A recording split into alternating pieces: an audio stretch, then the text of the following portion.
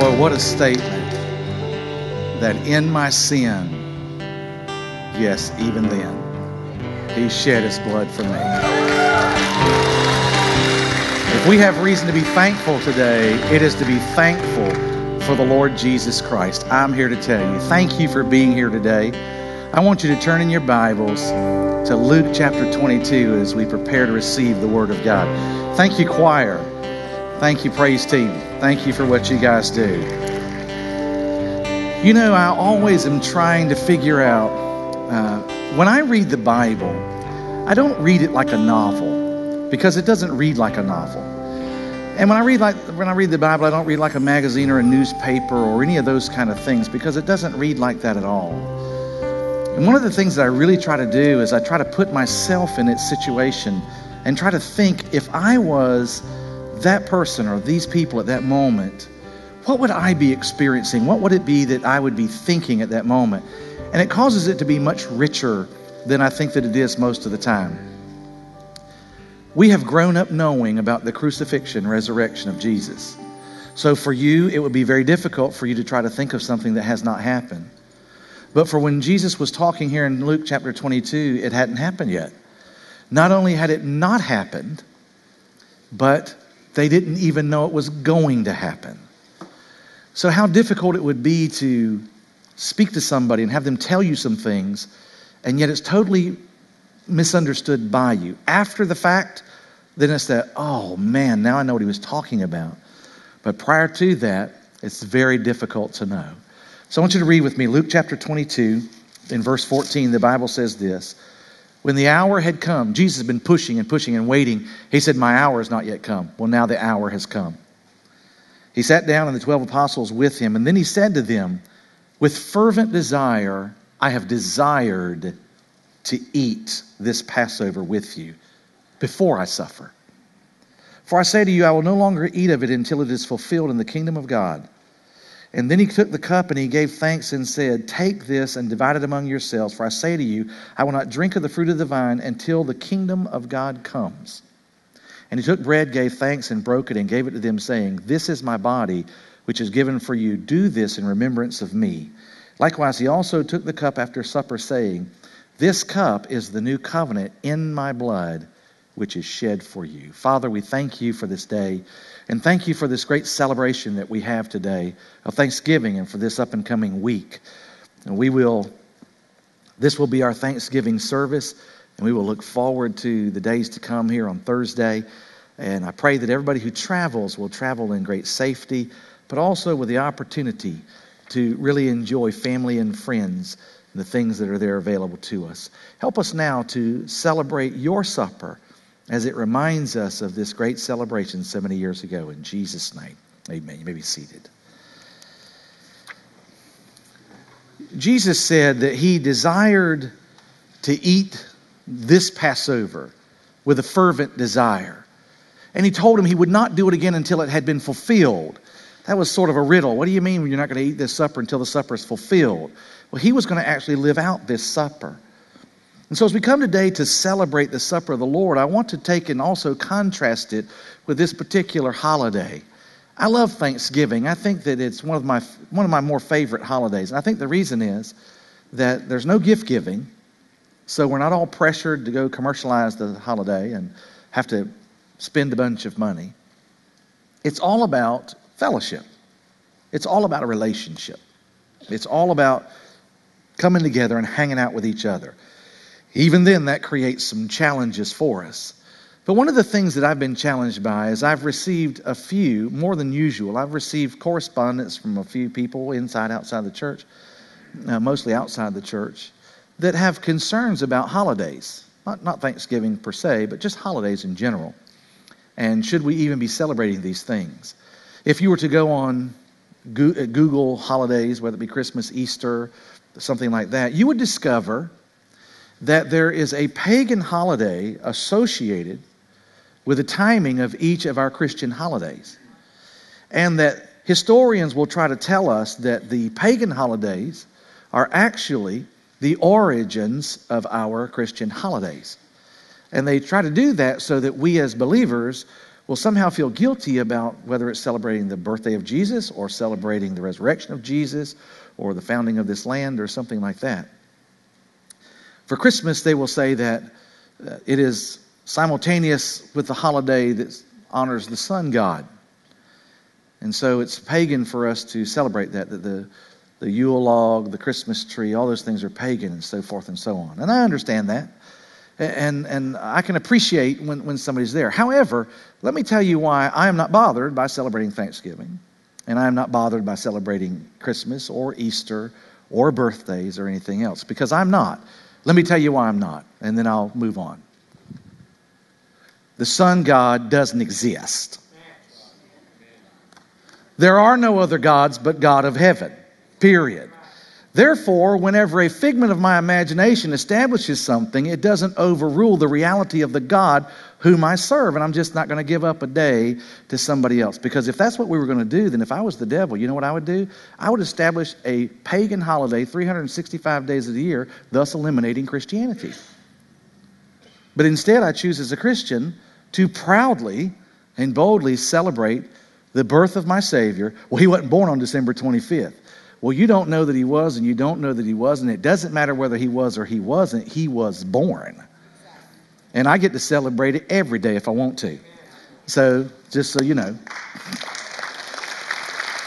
Because I think that Christians ought to be a little bit more proud, don't you? Do you realize y'all would be flipped upside down in your beds if the whole world was celebrating the birthday of Muhammad? They're not. And they're celebrating the birthday of Jesus. And even they say, no, no, no, we're celebrating Santa Claus. Yeah, but you know what it's all about. You know. Let's move on to Thanksgiving. The same people that would say that also are challenged by today about our Christian origin in the United States of America. And, you know, really, we weren't established by Christians. Well, when you say that, what you're basically saying is, and I want to say this nice what you're basically saying is that you're not interested in knowing what really can be known about history, that you would rather hear from somebody who maybe doesn't like Christianity and just take what they say that we weren't done that way, rather than go find out what could be known. It's willful ignorance. So if, if that's your position, that's okay, but let me, if I may, fill in a little bit of the blanks today. Many years ago, in a land far away, overseas, there was a church. And, and when I speak of God's church, I want to speak as honorably as I possibly can because it's His bride. And I don't think we have a right to speak horribly about His church. Now, we people in the church, we are the church, but sometimes we let our stuff get mingled in and we make bad decisions. So we can talk about our bad decisions, but so far as God's church is concerned, He loves His church, it's His bride. Many years ago, there was only one manifestation of the church. When you talked about the church, it was just one church. For centuries, it was that way. And over the course of time, people in the church and leaders in the church began to uh, take away its spiritual aspect and began to get engaged in it more physically and more humanistically. And salvation started to become, rather than by grace, it started to become by works, by sacrament, by activity, by money, by those types of things. It went on long enough that there were leaders in the church that found out and decided this is so wrong. This is not right. This is not what Scripture teaches.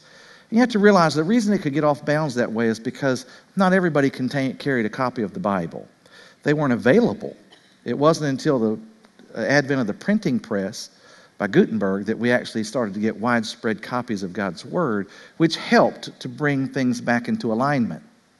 But during the course of the time when the only people that held copies of the scriptures were the leaders of the church, and even all the leaders didn't have it, it was easy to get doctrine messed up and confused. And so the church began to go down an errant direction, and as they did, and more copies of the Bible started to become available, there were leaders in the church that said, This is not right. One particular leader was so infuriated by the way the church was going that he wrote a thesis of 95 statements that he thought was wrong with the church and he nailed them to the doors of the Wittenberg Chapel. That started what is known today as the Great Reformation of the church. As that happened, uh, they, in an attempt to reform the church, we find that so often, whenever you have a large organization that goes for a long, long time, it is very resistant to change of any sort, and certainly reform of any sort. And we discovered that it was not going to happen. And so the church, even to today, has continued down that same pathway. But there were a group of people that decided, no, we can't go that way, so we're going to step outside of the church, of the official state church, and we are going to actually begin to worship God the way we know that He wants to be worshiped on His own. And these were known as independents or separatists. They were separated from the uh, main church. And as they began to worship there in England, King Henry, or I mean King James I, said, there was too many of these little groups that were coming about. And he said if you guys don't come back to the church to the state church i'm going to harry you out of town. And so there was a group that decided well we don't want to raise our children and we don't want to grow ourselves up in this state church. We've discovered that it's not going exactly the right way.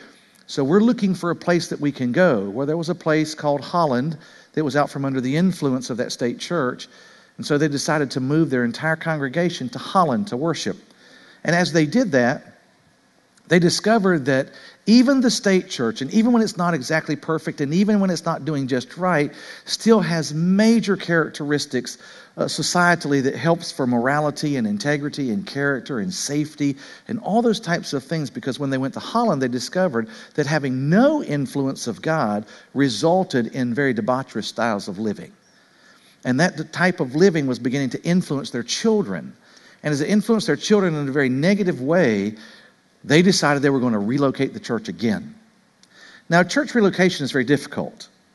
Here, and, and I want to give a disclaimer before I say this this is not on my plan. This is an illustration only. There is no sense of truth in it. I'm just using it as an illustration. Okay? So, everybody heard that? Did y'all hear that? Okay, so you won't call me back and say, Pastor's relocating the church. I am not.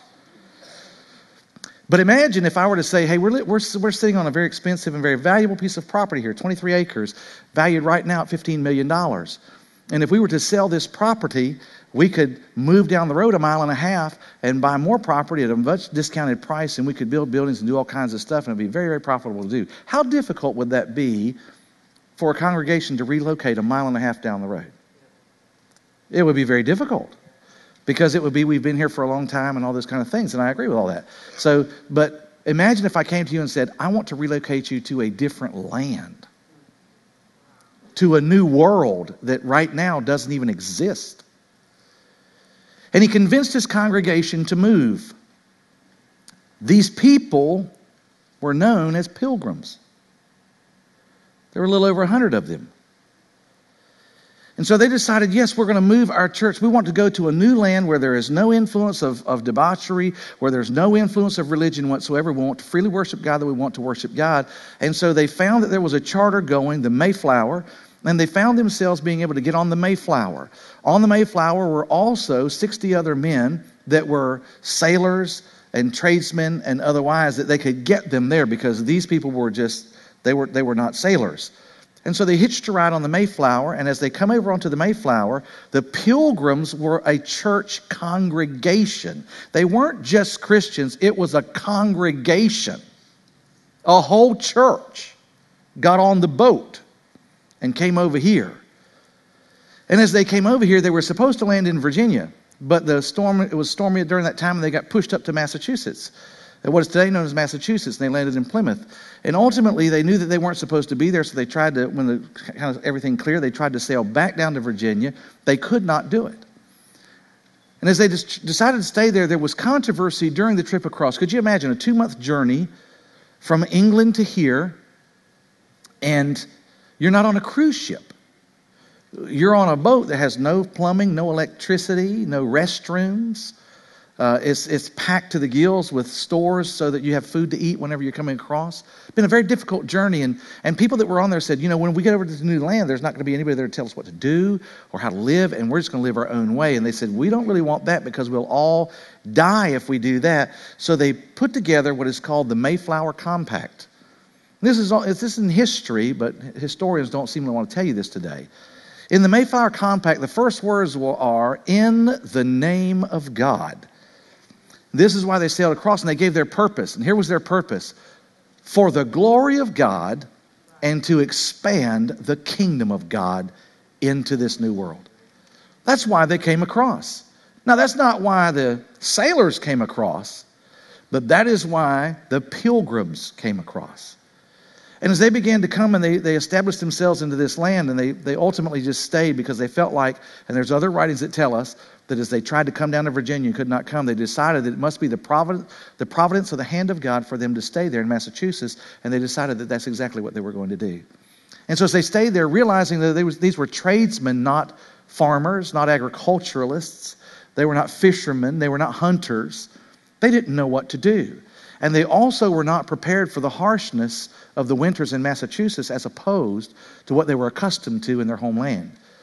So, over that winter, nearly half of those pilgrims died.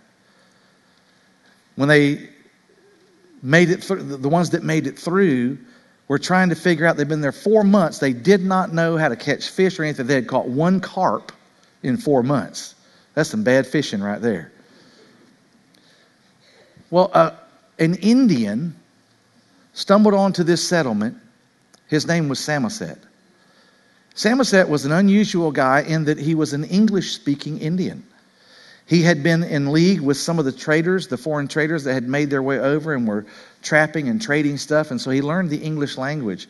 When he met these pilgrims and began to make a relationship with these pilgrims, he realized that they had needs that he himself could not help them with, but he knew somebody who could. And so he went and he got one of his friends, and another Indian came in. His name was Squanto. Squanto is probably one of the most significant figures that we ought to pay major homage to for this nation exists primarily as a result of what he did for those pilgrims. And I liken Squanto to Joseph of the Old Testament. Why? I want you to think about Joseph for just a second in the Old Testament. Joseph was a young man and he had brothers that, you know, they threw him into a cistern and he was ultimately put in prison.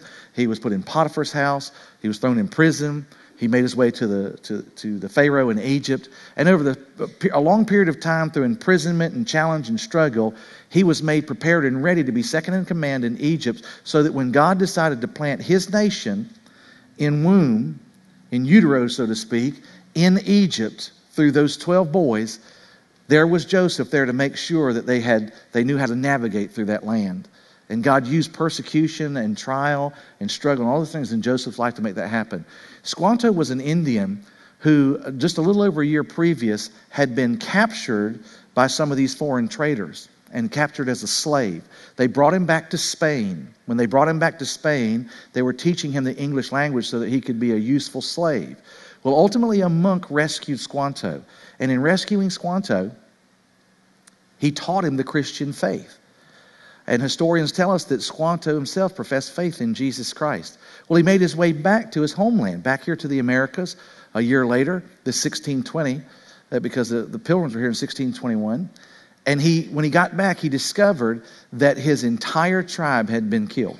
He was the last of these, this particular Indian tribe. So he could have been very revengeful and angry and mean, but when Samoset brought him back to these pilgrims, Squanto came and instead of being uh, full of vengeance, he chose to offer them help. He taught them how to fish. He taught them specifically how to catch carp. He taught them how to plant corn, how to plant corn in a fish so that it would, you could put them wherever you want to and they would prosper.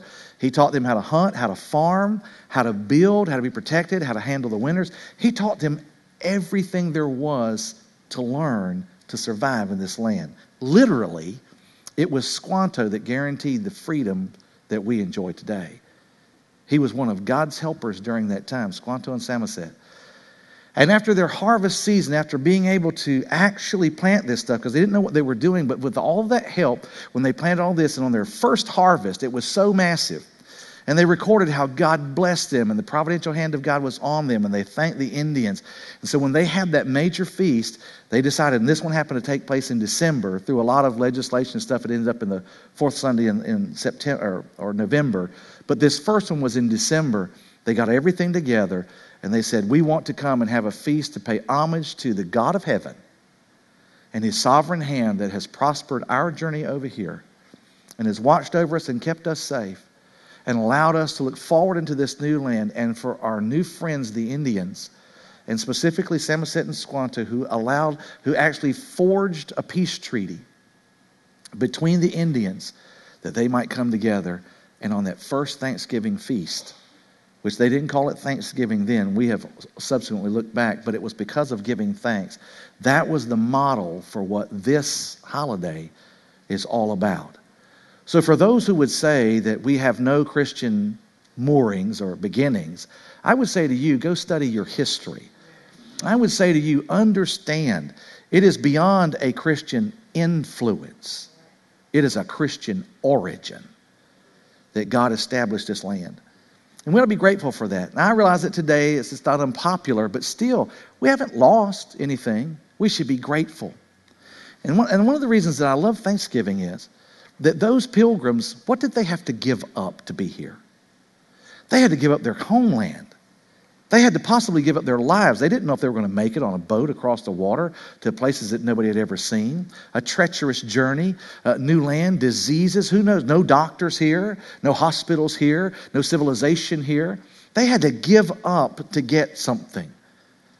And in the Lord's Supper this morning, I think that Jesus models that for us to help us to realize that we have to give up to get, and that He would have to give up to get something.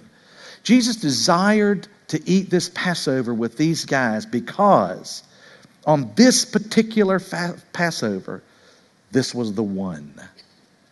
Today is November the 24th.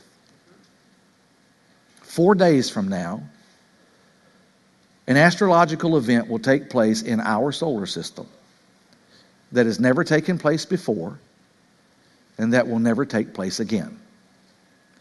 There is an asteroid or a comet, I'm sorry, a comet called Ison that is going to pass by the sun. It's going to pass pretty close. It is the brightest comet that uh, we have knowledge of that ever passed through our solar system. You should be able to see it at night. You could probably see it tonight if you were to know where to look. You go on the internet, Google it, you find out where to look. But it'll pass by on the 28th, which is four days from now. It passes by on the beginning of Hanukkah. It is the first astrological sign in a series of astrological signs that will take place between now and 2018. And this is the first time since the time of Jesus Christ that these particular astrological symbols and signs are going to take place in the heavens that align with the Jewish feast days and Jewish holidays. A, tet- a tetrad, a four, uh, four blood moons that will happen on these particular things over the course of these four years that are uh, perfectly in alignment. There are situations that go in the constellations of the heavenlies that are, and the Bible says the heavens declare the glory of God and they declare all these other things. And God tells us in these times that the heavens will tell you exactly what's getting ready to happen. There are things, and it starts four days from now. Four days from now, it starts. And it's undeniable. Will the Lord be returning? I don't know. Nobody knows. But I got to tell you, this isn't going to happen again for a long, long, long time. Wouldn't it be awesome if, like Jesus, when he sat down a couple of thousand years ago and he said, I have desired to have this Passover? Because he'd had several Passovers before. But he said, This is the one I've desired to have with you. And here's why. He says, I've desired to have this Passover because on this one, I will not have another Passover with you until the Passover has actually been fulfilled. Now, they, they didn't know what he meant. They didn't have any idea what he meant. But he said, something's going to be fulfilled here. And Jesus knew that his death would result in our life. He knew that the fulfillment of it was coming, that for all the suffer, all the struggling, for all the wondering, for all of the hoping, that this was the one. Could you imagine? Now, we know that nobody knows when the Lord is coming, and so we can't necessarily predict when it's going to be, but He did say we shouldn't be caught unaware. But nevertheless, could you imagine if I were to tell you this morning, hey guys, I was talking to the Lord this morning, and He told me that He wanted to meet y'all outside. So the doors are getting ready to open. Let's walk out. We want to meet Him outside. He's coming. I just want you to know that this is the day. Would that be awesome? Now, it's not going to work that way because he doesn't allow us that. But on this night, on this night, Jesus said, This is the Passover. And so he, he took the elements of the Passover, which were basically typical elements of their typical meal, their Passover meal. So it wasn't unusual to them. They had been doing this since the time of the Exodus from Egypt. So it's a very customary thing. It would be like today if you put up a Christmas tree or if you put up a wreath or if you have a pumpkin pie or something. Uh, no big deal. We have a pumpkin pie all the time, right? Or we have turkey all of the time. Now, on their, uh, by the way, on the first, uh, the first Thanksgiving meal back there with Samoset Squanto and the Pilgrims and the other Indians, they had also, there was a couple of other things because you know they were up in the area of Massachusetts, Maine, those areas. They had shellfish and lobster. So, lobster would be an awesome Thanksgiving meal, be very historical. Mom, if you love lobster. She just said sorry. So, Jesus said, though, he's trying to tell them what's going on. He says, This bread is my body, which is broken for you. They had no idea what he was talking about. So far as they were concerned, the Messiah was going to come, establish his kingdom, rule and reign forever. There was no thought of a crucifixion, a death, a burial, or a resurrection in their thought. And yet Jesus says, This is the one, this is the one. And the reason it is, I want you to know something, guys. Before the next one, this will have been fulfilled. And this is my body, which has been broken for you. Take it and eat it. Why would Jesus say to eat it? It has to be personalized, it has to be internalized. You have to receive Him personally and individually for this to happen. And then He said, He took the cup. Because whenever he was showing his body, it was representative of the fact that he was going to be tried, he was going to be beaten, he was going to be brutalized. But he had to make sure that they understood this was not going to be a tragedy in his life that he would eventually heal from. He had to let them know that it was going to go further than that, that he was going to go the entire way. And as he held that cup in his hand, he made this statement. He said, This cup is the new covenant which is in my blood. Now, I want you to understand this that these were a covenantal people. They understood covenants, they recognized what it was. They knew what the covenant that God made with Adam was. We call it the Adamic covenant. They knew the Noahic covenant, the covenant made with Noah. They were familiar with the Abrahamic covenant, the covenant made with Abraham. They knew of the Davidic covenant, the covenant made with David. They knew of the Solomonic covenant, the covenant God made with Solomon. They knew of the Mosaic covenant, the covenant God made with Moses. And he had spoken of a day, a coming day, that there would be a new covenant that would supersede the covenant of Moses, that it would wipe it away, and that what, was exterior at one time, the law, would become interior. That he would take the law of God and that he would write it on our hearts and in our minds, and that we would no longer need this exterior anymore. And it was called the new covenant. And on that night, Jesus said, This is it. This is the new covenant. He knew that he was giving them something brand new. He knew that their life would never be the same from that day forward. He realized that their life under law, their life under rule, their life under parameters was getting ready to change, and there was going to be a coming of the Holy Spirit. They didn't know that. There was going to be a forgiveness of sin that was wiped away forever. They didn't know that. There was going to be a resurrection to brand new life. They didn't know that. But he knew that what he was giving was totally brand new. And he says it's as simple as saying, as simple as understanding that this cup represents the blood that I'm getting ready to shed for you, and it is the new covenant. As often as you do this, do it in remembrance of Him. Not me, not this church, but of the Lord Jesus Christ and what He did for you. Take and drink.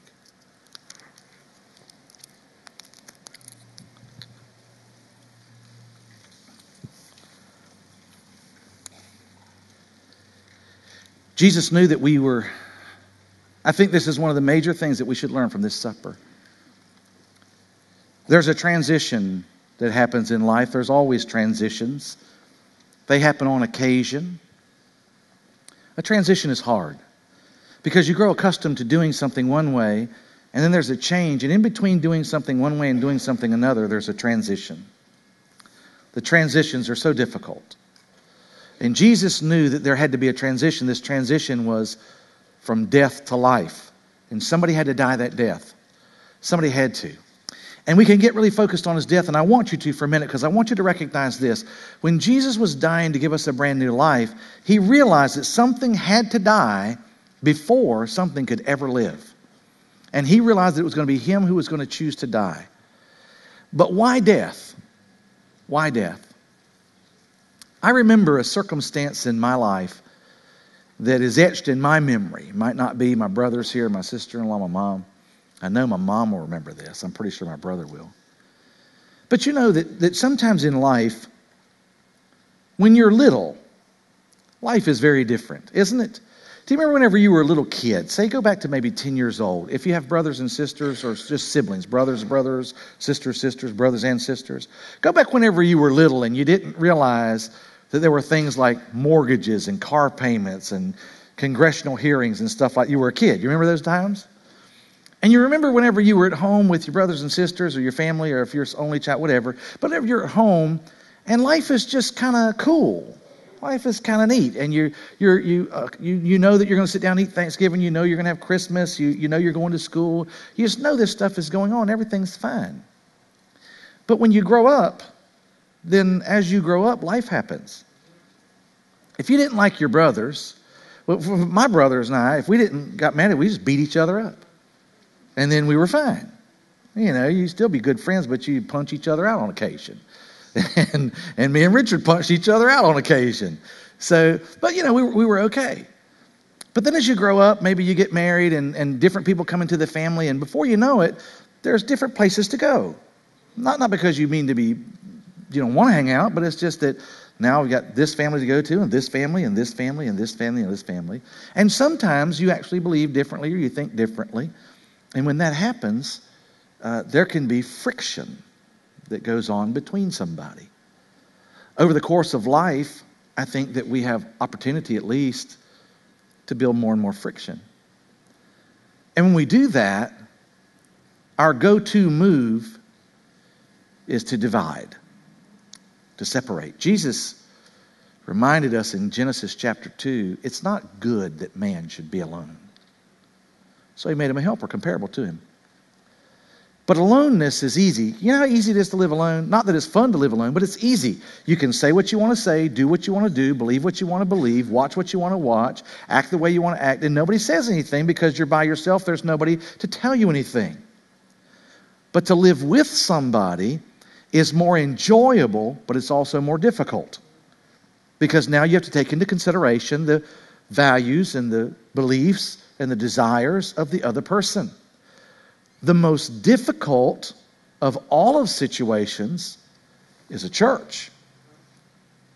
See, other organizations that have large groups of people in them, they're not that difficult because you don't have to know them, you don't have to believe in them. It's just a, it's a secular organization. But a church is different. It's not just trying to get different people together, it's trying to get them to go in the same direction. That's very challenging. And Jesus knew that when you put people together with a variety of belief systems and a variety of behaviors the way that we have, there's a potential for conflict. In my father's life, he had a brother, who was my uncle, and they had a conflict one time. I'll never forget this conflict because it was over a battery charger an automobile battery charger. So it was a fairly decent sized battery charger. And it's a battery charger. But they had a conflict over it, and it caused great stress in their life. And I'll never forget the day that my uncle drove into our front yard, and I remember him taking that battery charger and literally throwing it at my dad off of his truck. It hit the ground and it busted, and it was of no value after that. But it was like, there's your battery charger back. And of course, they were divided for a long time. And I also remember the day that I heard both of them apologize for that battery charger incident and to restore a relationship. I remember how difficult that was. And I remember uh, thinking about that. I could even see the battery charger, it was white. I, I can just see it. And how foolish that seemed at the time, but there was so much more behind it. I realized that that happens over and over and over again. That many of us have battery charger incidents, don't we? Somebody borrowed your car, bumped into it or something, scratched it, didn't tell you, let you fix it, and you've carried that with you. Somebody had a harsh word, your brother, your sister, your mom, your dad had a harsh word to say to you about you got married, they didn't like your spouse. And they showed a measure of disapproval, and from that day forward, you've never spoken to them again. They tried to help you raise your children a little bit, and they said something about your kids, and boy, that infuriated you. And so you just keep them away. They don't ever get to see the kids anymore. And Jesus covered that on the cross, but let me tell you something. He died. And the reason that he died is to let you know that whatever the level, whatever the depth of something that's happened in your life, he covered it all the way to death. There is nothing so weighty that he cannot repair. There is nothing so tragic that he cannot speak life into it. He's got it covered. All of us have something that has happened, something that has gone on, something that has flipped our lives inside out. Some of us can't speak to our parents, some of us haven't for many years.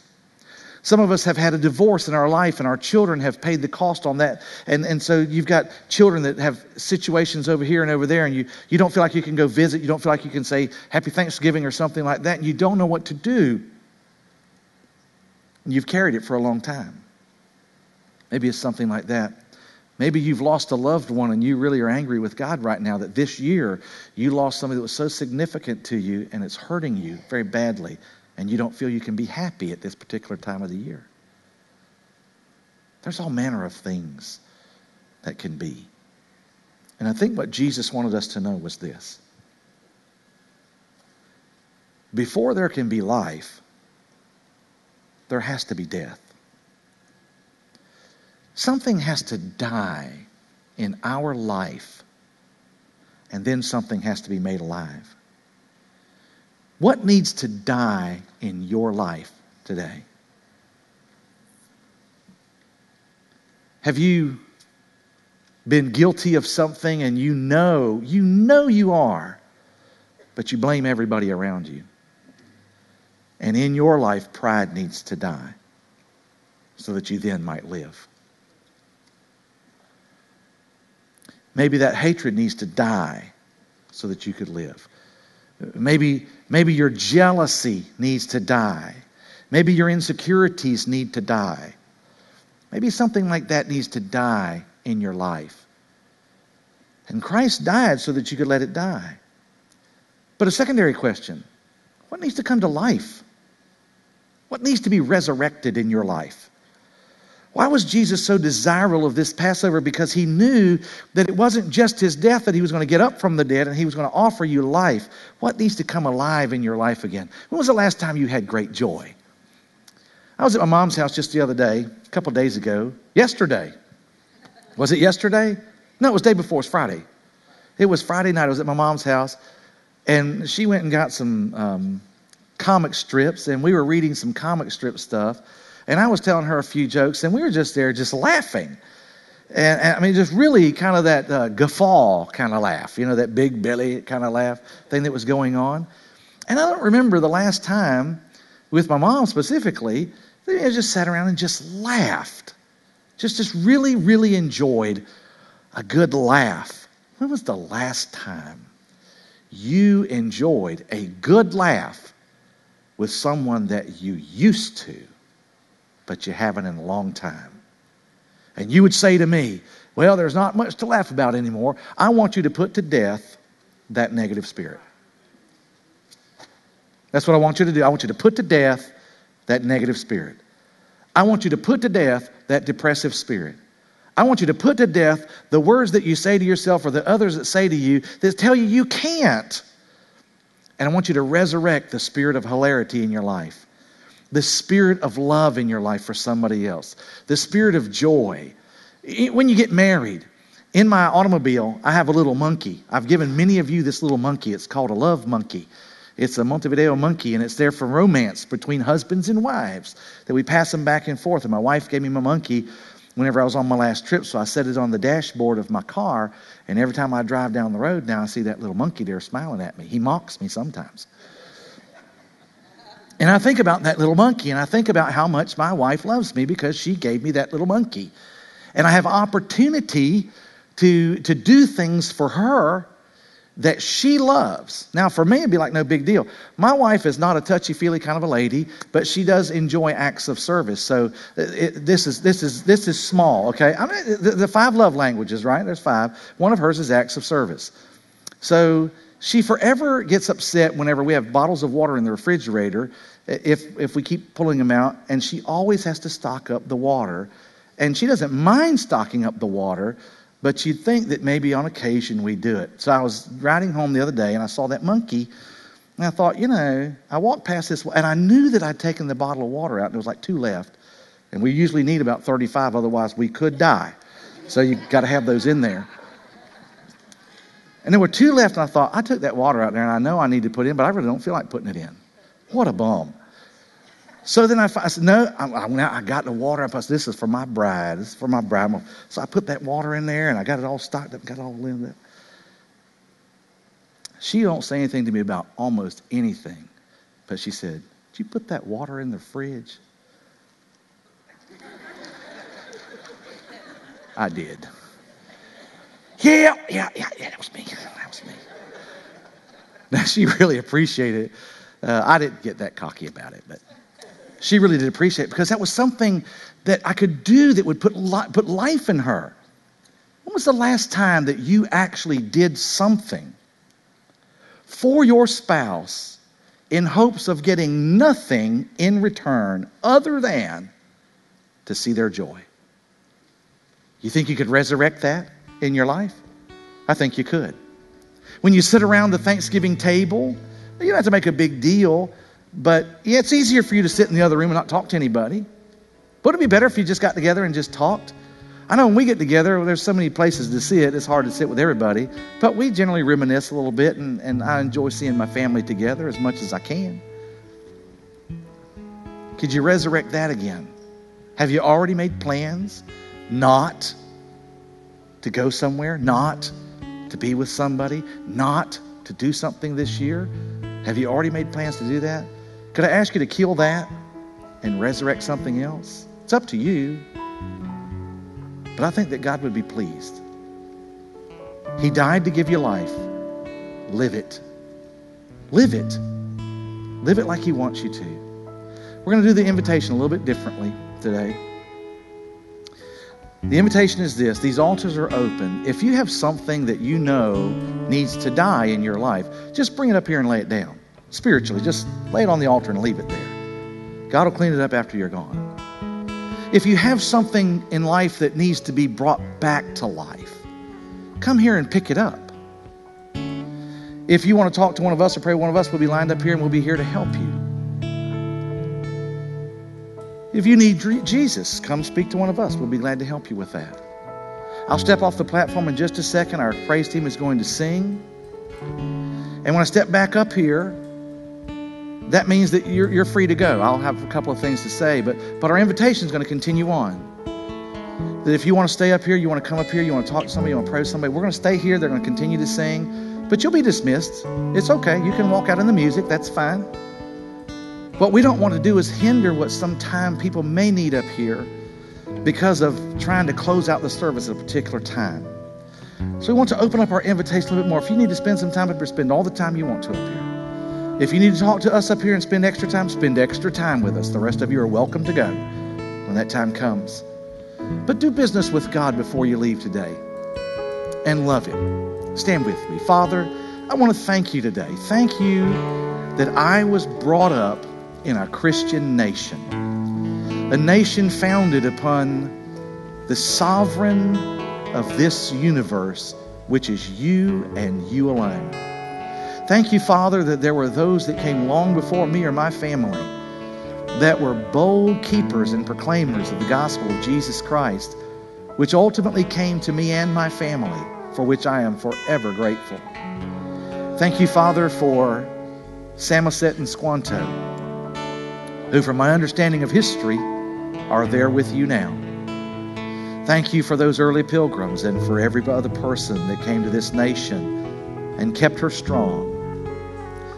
Thank you, Father, for an amazing church that stays strong through the weathers, through the winds, through the rains, through the floods, through the changes and the transitions that we have here, that still stay strong and still love. For we understand how difficult it is to be in a relationship with a large number of people, that that means that many of us have to bend. Thank you for a church that has remained strong throughout all the transitions, has not only remained strong, but has remained very gentle and very loving. Thank you for our many volunteers who, week after week after week, allow us to be in this sanctuary. They park us, they watch our children, they teach us in Sunday school, they seat us when we come in, they greet us with a smile, they provide us with a bulletin, they, they take care of us, they watch over us. Thank you for the many, many people who give so much to make this place a reality. Thank you for my staff who has remained strong and faithful over the many years that we've been here. Lord, most of all, thank you for Jesus and thank you for this amazing supper that purchased our freedom, that purchased our forgiveness of sin and our freedom to live. I ask you, Father, would you convey upon all of these that are here life? Put in their mind that life is good. Death is what is bad, life is what is good. If there are circumstances and situations that have divided us and even caused hardship, the Apostle Paul reminded us that as much as depended upon us, we ought to live peaceably with all men. Empower us to be the peacemakers. You told us, blessed are the peacemakers. And so, Father, help us to do that. And let this holiday season be one where we acknowledge that you are the reason for this season as well and the coming Christmas season. May we celebrate that. For those who need now prayer, our altars, our hand of fellowship, whatever it may be. Draw them to us now and allow us to help. For we praise you in Jesus' name. Amen.